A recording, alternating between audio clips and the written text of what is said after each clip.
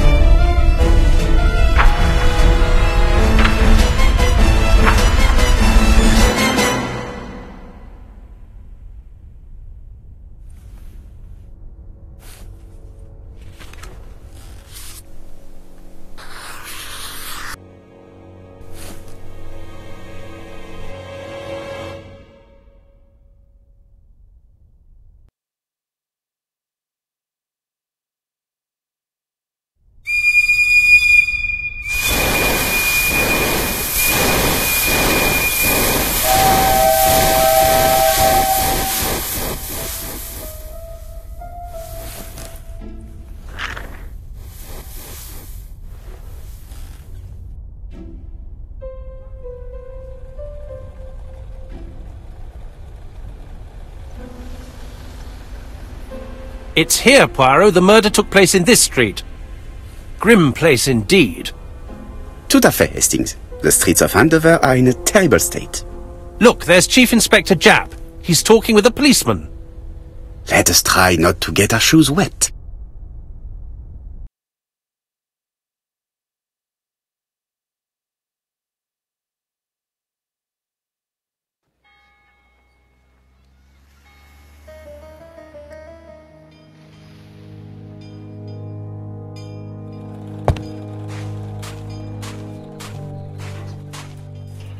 Don't dilly-dally, Poirot. Japp will be waiting for us.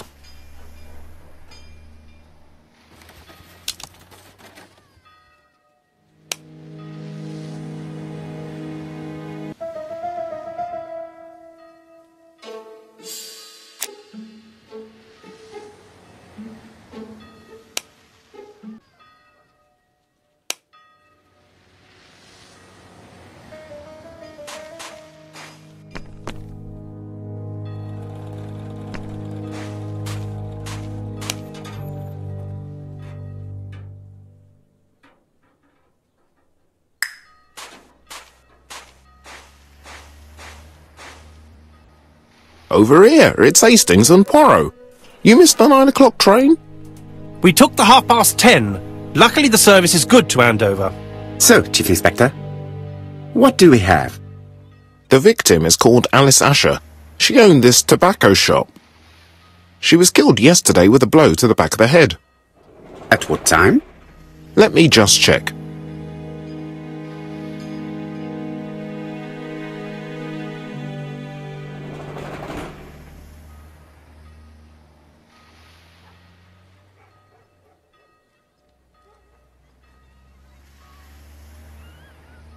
My friend, give me a minute to find the damn notebook.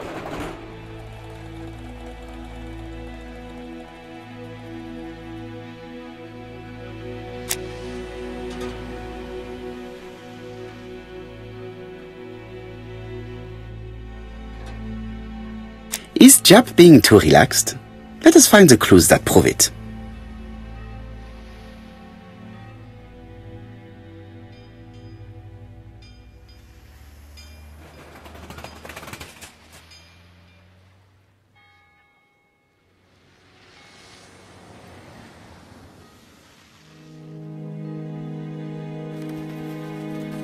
Indeed, Poirot. We were used to seeing you judge people with more discretion.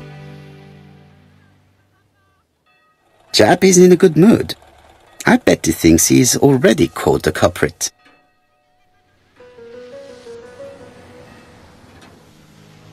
The last customer to see Mrs. Ascher alive left her shop at half past five. The body was found at around 11 in the evening by an officer doing his rounds. The shop door was open. That's what alerted him. Had anything been taken? A little tobacco maybe, but you'd hardly murder for a few smokes. There's nothing of any real value in the shop. What type of woman was Mrs. Ascher? In her fifties, married but separated, no children. Her husband? Aha, Franz Ascher, the husband. Alcoholic and violent. It's said that he regularly insulted his wife and threatened to kill her.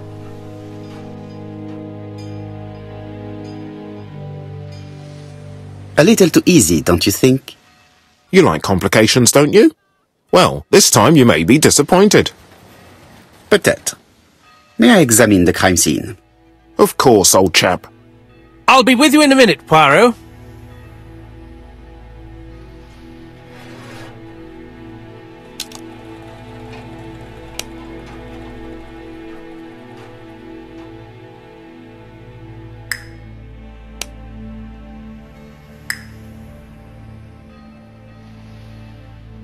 This fruit and vegetable shop has a front row seat, therefore, an employee might have noticed something.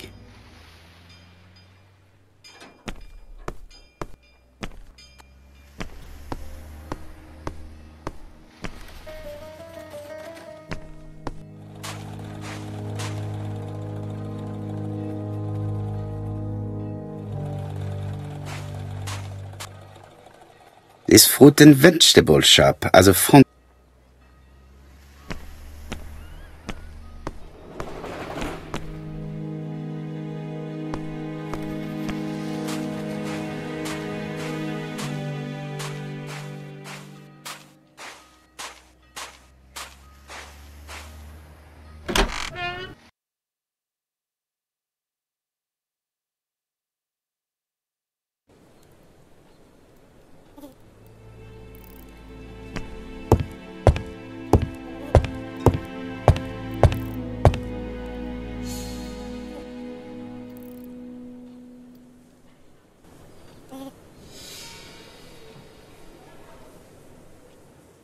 red liquid is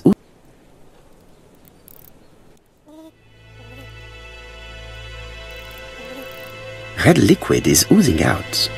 Is it blood?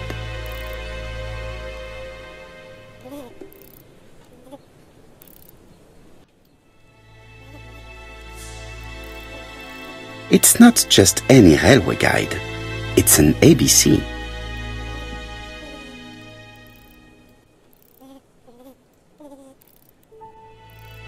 It's not just any railway guide.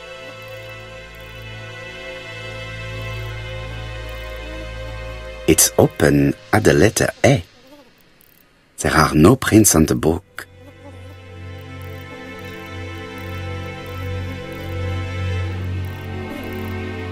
Red liquid is oozing out.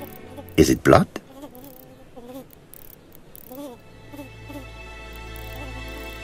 No, it's just some strawberries that are losing their juice. They probably come from the fruit and vegetable shop opposite.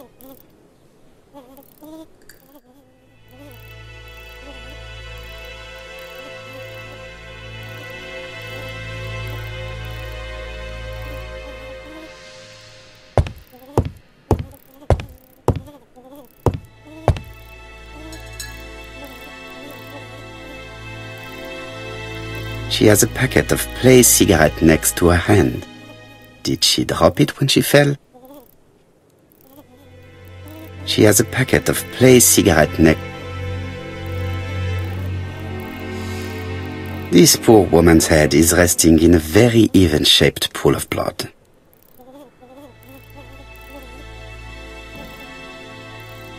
She just has one wound on the back of the head. There are no other wounds or signs of a struggle. This poor woman. I can't see any other mark on the floor. I can't see. I can't see.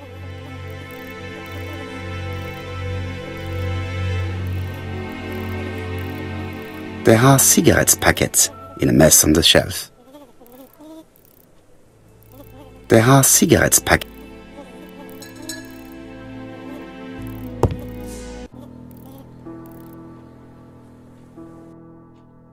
The till does not appear to have been touched.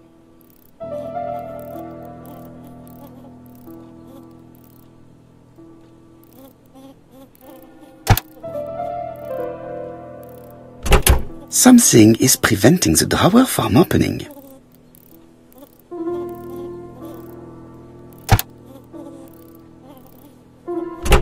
Something is preventing the drawer from opening.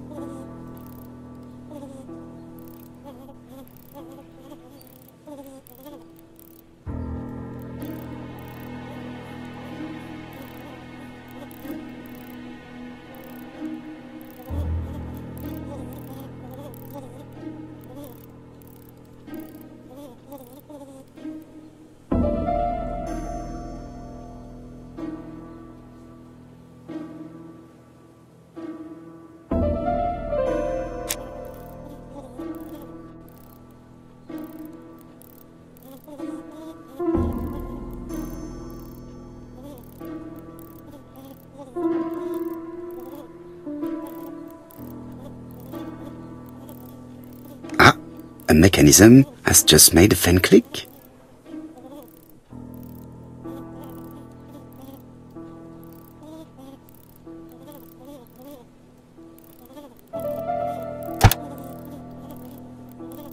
The till is full of money, but there is something strange.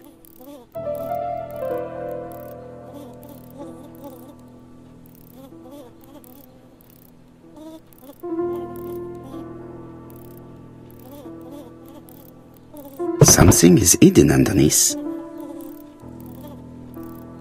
Something is hidden underneath.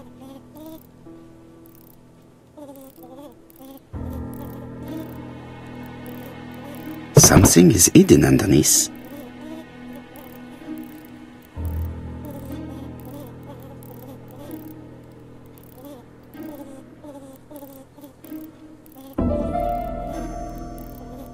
Something is hidden underneath.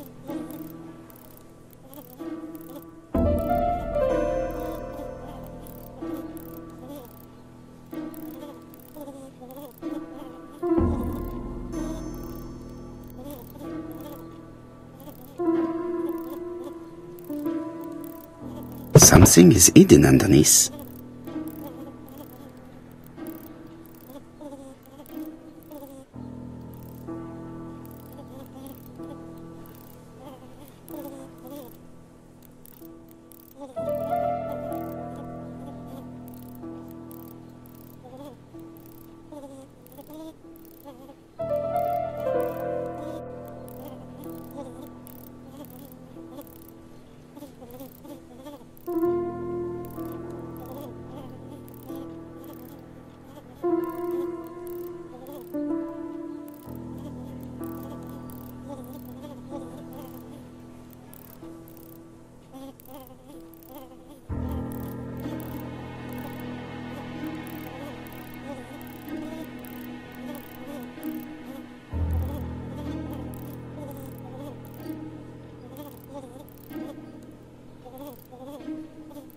Something is hidden underneath.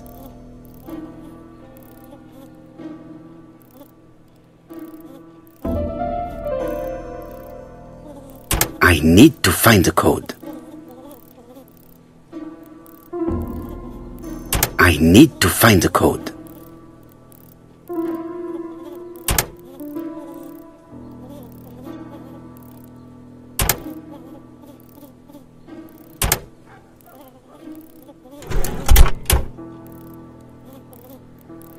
This must be the key to the back of the shop.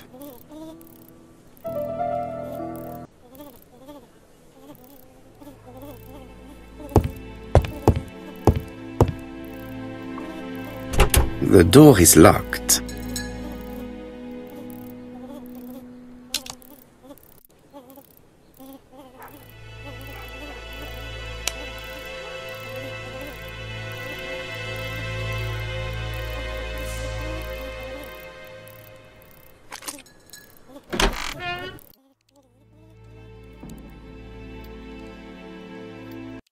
strange box. It looks like you have to slide the slats of wood to open it.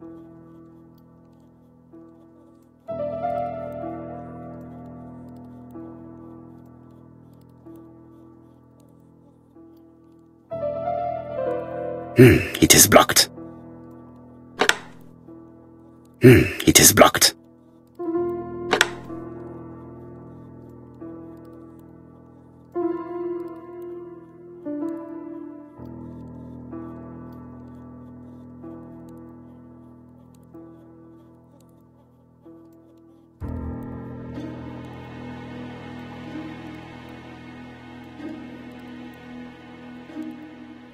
Hmm, it is blocked.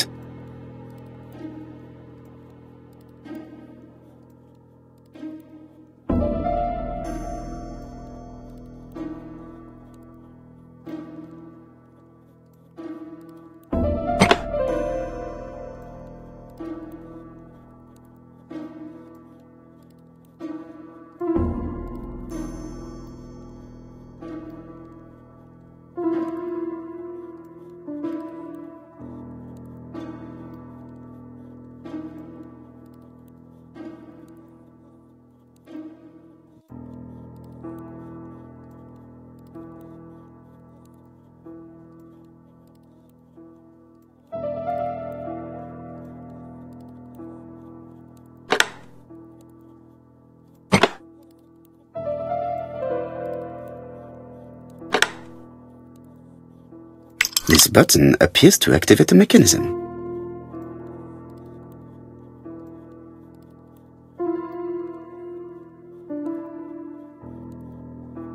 Hmm, it is blocked.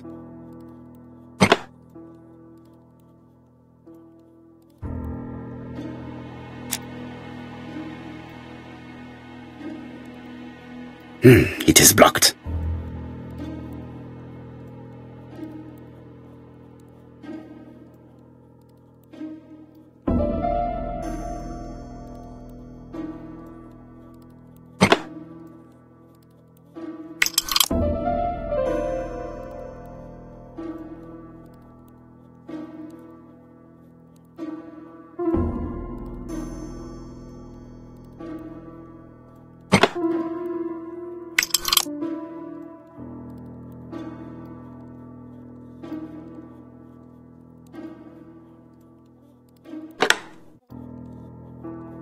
That should do it.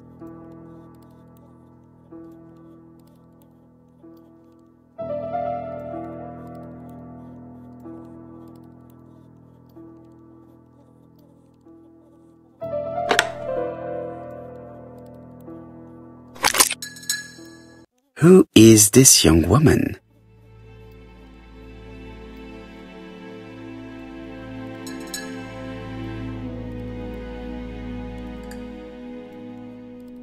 To my dear Aunt Alice, Marie Drower.